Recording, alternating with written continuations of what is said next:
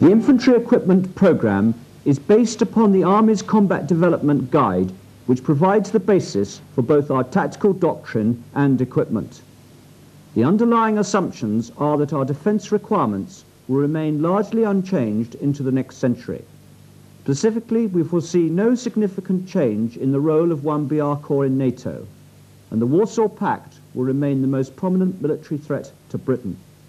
Moreover, the Soviet Union is known to be improving all aspects of its conventional war capability and is expected to continue to upgrade its equipments for the foreseeable future.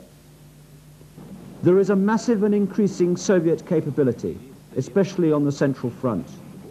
Within its area of operation, 1BR Corps will face a numerically superior Soviet force with a wide range of very good armour, mechanized infantry, fire support, aviation and electronic warfare capability. The aim of the infantry equipment program of the 1980s, 1990s and beyond is to enable us within the all-arms team to defeat this threat.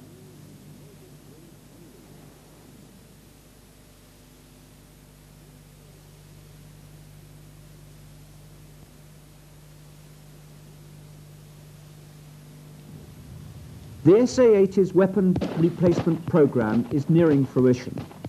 The weapon system is expected to enter service in late 1985. The new weapon system will replace not only the SMG and SLR, but also the LMG and the GPMG in the light role, although the GPMG SF will be retained as a platoon machine gun. The system consists of the L85A1 rifle and the L86A1 light support weapon both fed with a common 30-round magazine and firing the new NATO standard 5.56mm ammunition based on the Belgian SS-109 round.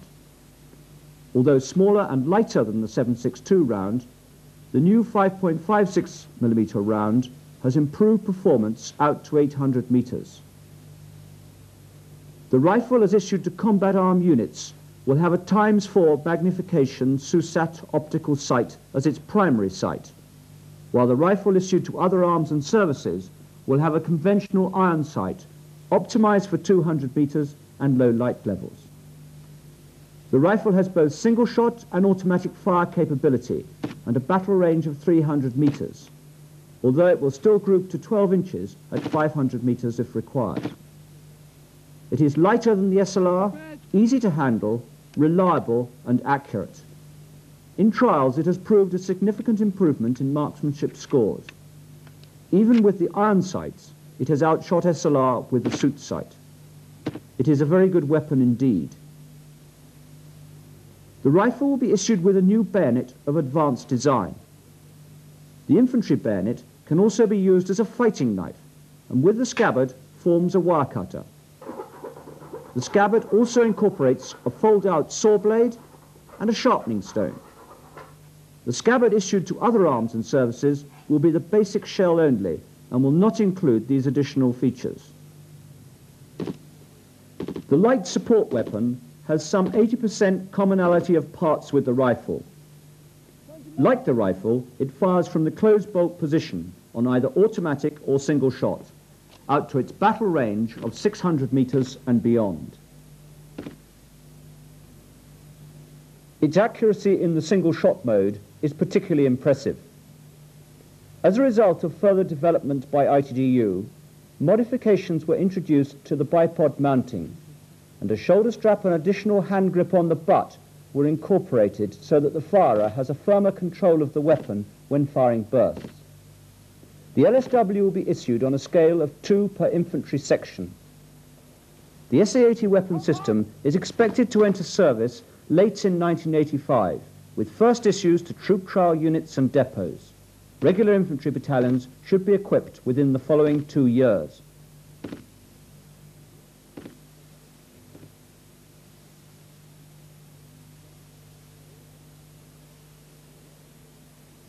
LAW 80 is a relatively low-cost, man-portable anti-tank weapon with a range of up to 500 meters. The weapon will replace both the 84mm Carl Gustaf and the 66mm M72. The telescopic disposable launcher, made of Kevlar, acts as the packing container for the preloaded projectile. Integral to the launcher is a simple optical sight and a retractable shoulder rest. The projectile is a 94mm rocket with a heat warhead capable of penetrating over 600mm of armour, enough to defeat T-72 in the frontal arc, and giving the weapon a very high kill probability. Hit probability at all ranges is significantly improved by the inclusion of an integral spotting rifle with five rounds of a special 9mm spotting ammunition ballistically matched to the main armament. Immediately before firing, the operator extends the launcher tube. This action automatically arms the weapon. Once a target is seen, the weapon is aimed with the optical sight and an allowance is made for range and speed. The spotting rifle is then fired to establish the correct point of aim, and once this is found, the main projectile is fired. The launcher is then discarded. If for any reason the weapon is not fired, it can be closed up and returned to the carrying position. Subsequent opening up once again prepares it for immediate use. To facilitate training, three equipments will be provided. First, there will be drill rounds, consisting of inert weapons for familiarization drills. Second is a classroom trainer to permit simulated engagement of a moving target. And finally, an outdoor practice weapon firing spotting rounds only and incorporating a noise generator to simulate firing the main armament. No other country has a simple light anti-tank weapon which is effective against the frontal armor of a modern tank. And Law 80 has only been made possible by the introduction of high technology production techniques. Although a number of technical problems have arisen during its development, it is anticipated that the user trial will be completed by early 1986 and most units will receive their first issues in 1986 or 1987.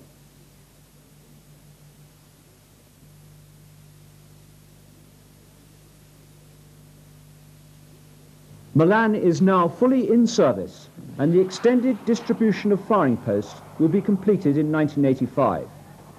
This reliable, simple and versatile system will give the battalion an effective anti-tank capability well into the 1990s. To enhance the system, a number of improvements are being made.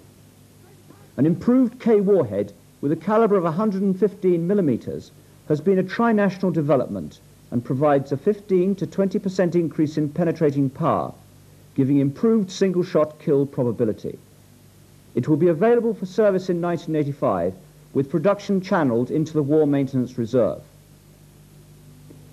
The Milan Infrared Adapted, or MIRA, thermal imaging sight has begun to enter service. The sight will be issued on a scale of one per firing post and will allow identification and engagement of targets at night and in obscuration such as fog or battlefield smoke. It is powered by a lithium battery and is cooled by air bottles containing pure air under high pressure. These will be refilled by a Charger Equipment Pure Air, CEPA, held in the battle group echelon. The introduction of MIRA now establishes the requirement for the new field of AFV thermal recognition. Another innovation is the Milan compact turret on Spartan. This equipment consists of an inverted firing post in a simple turret, which permits two missiles to be fired and guided from under armour. The launcher must be reloaded from outside the vehicle, which will carry a first-line load of 12 missiles. The system will be issued on a scale of four per mechanized battalion and will provide the basis of the battalion's anti-tank mobile force. MCT will enter service in early 1987.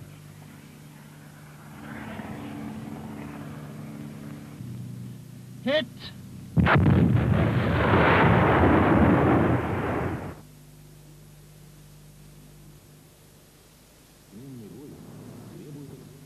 The latest concept in anti-armor warfare is the use of the mortar in the anti-tank role, MORAT. British Aerospace have an anti-armour bomb called Merlin, which is under joint development with the Ministry of Defence. Merlin will be fired from the existing 81mm mortar without any need for modifications or additional crew. Merlin contains a millimetric radar guidance sensor, an electronics package, and a shaped charge warhead. After the bomb leaves the mortar tube, the rear fins are deployed. When the bomb has reached the peak of the trajectory, the guidance system is switched on and the canards are deployed. The sensor scans a 300 meter by 300 meter footprint to locate a moving armor target. It then locks onto the target and uses the canards to steer the bomb onto the top of the target.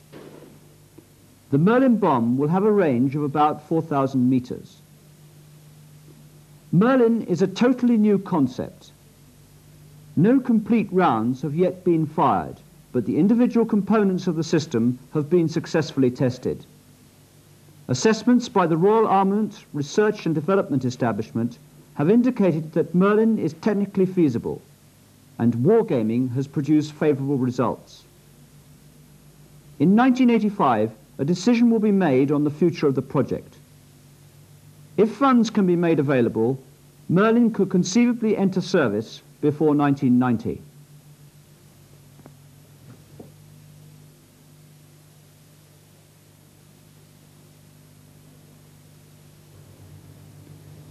Spyglass is a handheld thermal imager which will allow targets to be detected at night and through most types of battlefield obscuration out to ranges in excess of 4,000 metres. Spyglass is to be issued to the MFCs of regular battalions and the recce platoons of non-mechanized regular battalions. Mechanized recce platoons are to receive Otis, which is a similar equipment but slightly larger and heavier. MFCs will be able to position their spyglass alongside their LP7 laser rangefinder on a common mount with an angulation head and small tripod. Like MIRA, Spyglass and Otis will need compressed air bottles charged by CEPA. Issues of Spyglass and Otis are expected to begin in early 1986.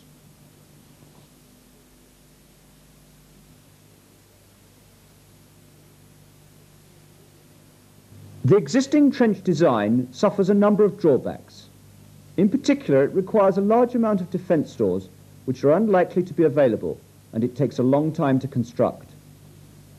A new design of trench is under examination, which uses split hairpin corrugated iron. The basic item is a sheet of corrugated iron, which is bent over and has castellations at the top end. Two sheets simply interlock to form an arch. It is the strength of this curved shape which allows less reinforcing pickets to be used. Construction is simple. The trench is dug to the normal dimensions.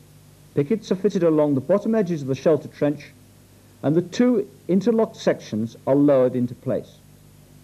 Enough units are placed for the length of shelter required and then earth is placed on top. Curved sheets are also used for the revetting of the fire bays at either end of the trench. Here is a completed trench. You may notice that there is no overhead protection over the firing bay. Overhead protection over the firing bay is not always required.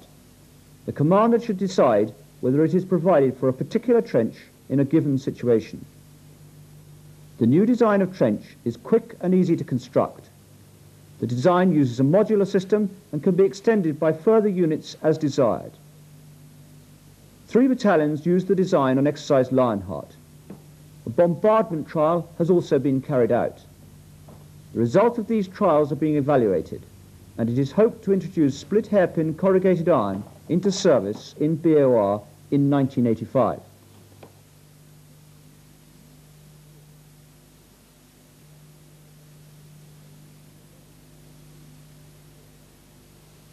Saxon is the new armoured vehicle which has entered service to provide the regular NATO reinforcement Type A battalions with protected mobility. Saxon carries nine men, a section of eight and a driver. There is adequate stowage inside the vehicle and in external stowage bins for all the section's personal weapons and equipment, including 8 Law 80 and combat supplies for 48 hours. Saxon weighs just over 11 tons and has a 150 horsepower diesel engine. It has an excellent performance on roads achieving speeds of up to 60 miles an hour, and the road range is in excess of 300 miles. Its cross-country mobility is rather better than a laden four-ton vehicle. Saxon's armour gives the crew better protection than FV432 against artillery and small arms fire and against mine blast. GPMG is provided for air defence on a Deezer Mark 400 mount, which will allow engagements of targets in a 360 degree arc. Saxon's deployment has begun. One King's Own Border carried out the troop trial in 1984. Saxon will be issued to the regular infantry battalions of 1, 19 and 24 brigades and the line of communications JTP 362 battalion. Saxon will allow them to deploy to their positions under armour and the protected mobility will enable them to redeploy in comparative safety.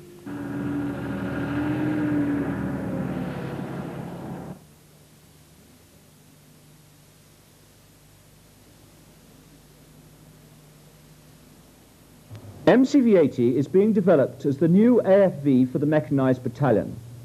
It will provide the infantry with the required balance of capacity, mobility, protection and firepower to meet the threat well into the next century. MCV-80 will carry a full section of 10 men, including a vehicle commander, driver and gunner, together with their full equipment and combat supplies for a period of 48 hours. In addition to the crew's personal weapons, eight Law 80 are carried. The compact design of the vehicle allows adequate space for this stowage. MCV-80 will provide the infantry with greatly increased mobility.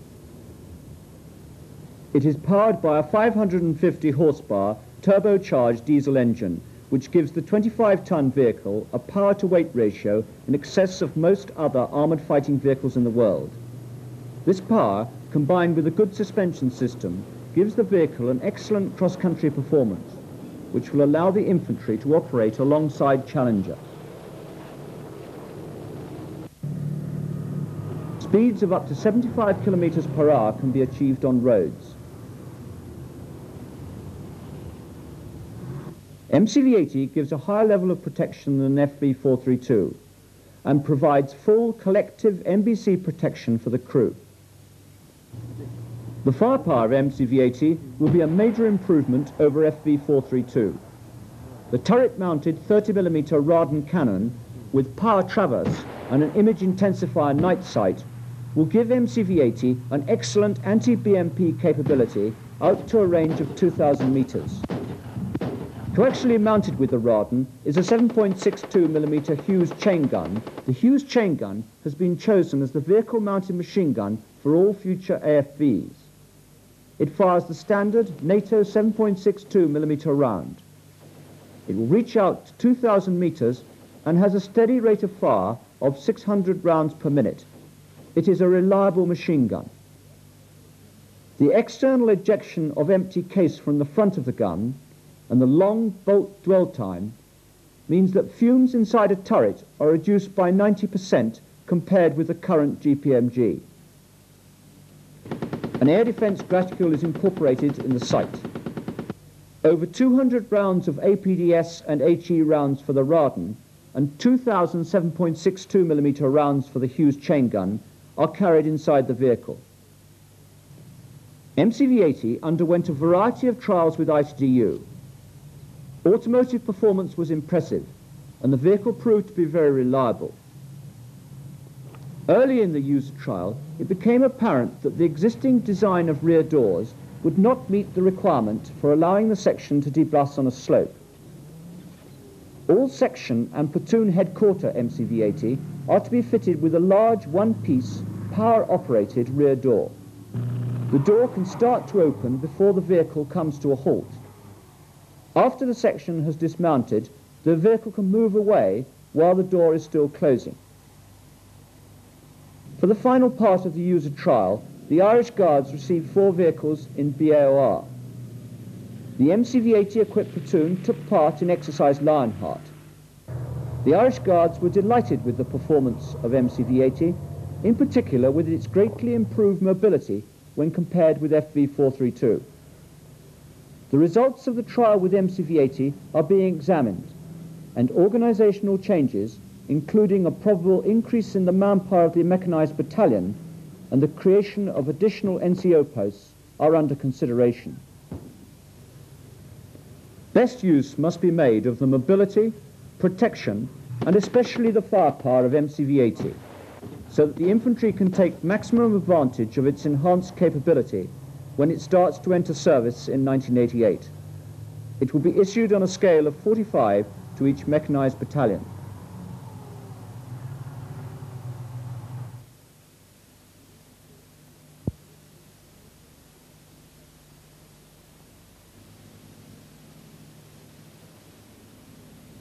Within this short video, we have illustrated the major operational requirements projects for the infantry, most of which will begin to enter service within the next three years, and all of which will enable the infantry to successfully meet the threat. One final item. With every new piece of equipment, there is always an adjustment required to accommodate it within existing methods of operation. Guardsmen and RSMs everywhere will be relieved to know that a new drill has been developed and approved for the SA-80 rifle.